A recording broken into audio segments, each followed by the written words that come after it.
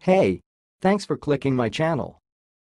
Well, in this video I will talk about how pronounce this word. Let's get right to the it. Thuri.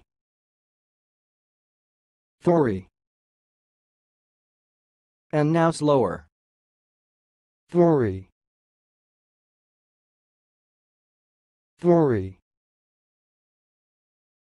That's all, thanks for listening. If you liked this video, please subscribe to my channel. If you want to share your opinion, please leave comment for this video. Thanks and goodbye.